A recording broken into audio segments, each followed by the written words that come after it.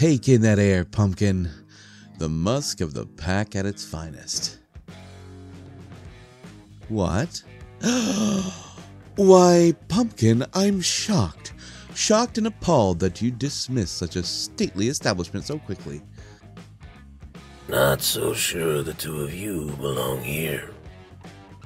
Relax, Pumpkin. He didn't mean any disrespect. Fine.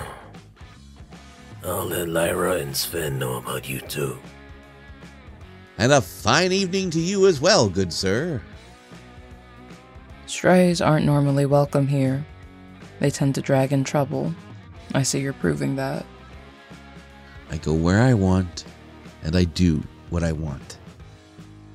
Stray dogs like you had best quit any inclination to whine in the presence of the seer. Oh, you think you're a sharp one, do you?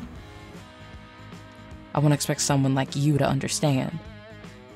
Elder, I really do not think I should be wandering around with. Our first priority is the pack. The vampire's packless can't be trusted to look out for his own kind. Exactly, Pumpkin. I think they're trying to hide something. Enough! The two of you bigger worse than the old ladies in my bingo club. You can kill each other or sleep together, but either one of those you can do on your own time. Great point. May I add that the bitch started it? Aw, too bad, so sad, sweetheart. Guess you'll just have to put up with me for a few more minutes. Well, at least the bloodsucker pays.